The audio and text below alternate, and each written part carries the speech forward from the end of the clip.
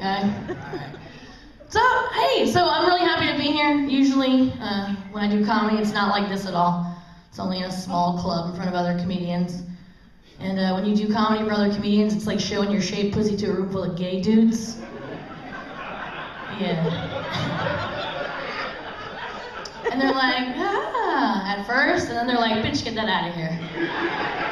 And if you're like me, you're like, I worked hard on this. Look at it. Just look at it. I worked hard on it. That joke is it's hard to shave a vagina when you're fat. Right? Some dude in the back is upset now. Hey, uh-uh, it's harder to shave balls. Uh-huh. Sir, it's not. I can tell you confidently because I've done both, okay? Men, I'll tell you why it's easier for a man. Men can take their balls and squeeze them. And make like a sack and then like shave the outside of the sack. Right? You guys know, you guys know you can. Women can't just like inflate their genitals like that. because if we could, your mother would be the scariest motherfucker ever. Anytime you ever sassed her in the grocery store or when your friends came over, she'd just be like, ah, ah, ah, ah. And you would run for your life. If, if, if we could inflate our genitals, Hillary Clinton would be president six times by now. Pufferfish, 2016, all right. so, Eddie right. He said I'm the singing comic. So, what that means, I'm just gonna sing you dick and fart jokes. They're just gonna sound real pretty that okay? Should be good. Gonna be, ow, yeah, free bird, ready to rock. Um, I wrote a song for my grandmother. Yeah, I thought we'd kick it off with something sweet, like for my grandma. Uh, you know, all the girls out there that do pornography, like my grandma. All these people are like, oh, those poor girls out there grinding away on some dude's crotch for college money or babies or rent, things like that.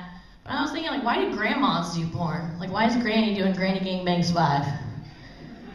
She need, like, cruise money? Or, like, what? She needs another pair of Birkenstocks and a nice sweater. So I wrote a song for my grandma. And it's kind of like a, a protest song for, for uh, porn stars. So if you got any porn stars out there, which I'm sure like 10% of you are, because you, you porn is a thing and you're on it. I don't know if you know that. But this is a protest song for all the porn stars. I hope they they sing it and then just be like, no more anal unless you use a condom. No more. what, you guys are all into anal sex? You're not into that, Chuck?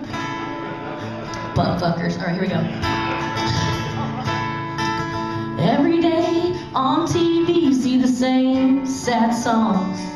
Yeah, some poor high school girl selling blowjobs to get along. Oh, thanks for joining us. I'm just kidding. I was high when I got here too. Brand new titties and low self-esteem. So she's gonna go make friends with the whole football team.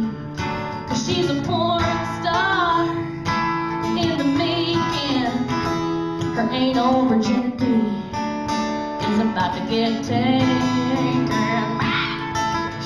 What's wrong? It's my favorite verse. It goes out to that guy right there. High school, Ken Doll Kid, his favorite movie was Boogie Nights. He always had big Hollywood dreams of his penis in neon lights. Aw. These are too sensitive. Come on, he probably has a small wiener. All laugh about it. Throws him the lube. Says, lights, camera, action. Now it's time to fuck this dude. Hey, wait a minute, that is not what we discussed. And you think Peter North started off on the bottom? No, he started off on the top. Wait, reverse that. Strike that. Cause you're a porn star in the making. Now you're a power bottom, just like Clay Aiken